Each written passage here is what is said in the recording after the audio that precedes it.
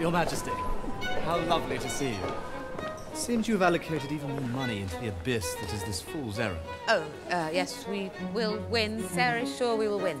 It's the landholders' tax. You have no idea the firestorm of rage you have set loose in the countryside. Really? Are they angry? Dearest Queen, how do you like my stockings? Festive. Very. I was just explaining to the Queen the mistake that's taxes, the war as well. We should sue for peace. Oh, Harley, you are such a bore. That is for Parliament. A ball is for dancing and eating those horseradish and venison puffs. Have you tried them? I'm having trouble swallowing at the moment. Your Majesty. I'd like to enjoy the music now. Oh, yes, I love this music. I must dance.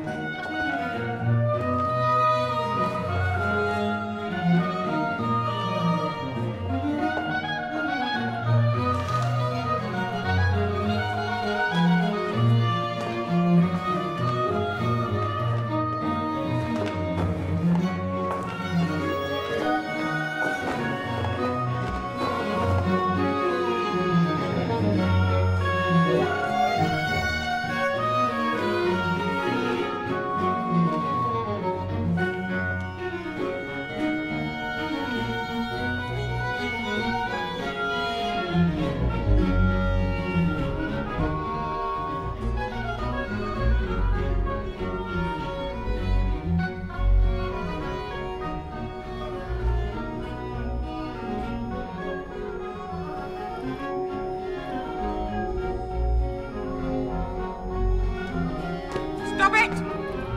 Stop it! Stop!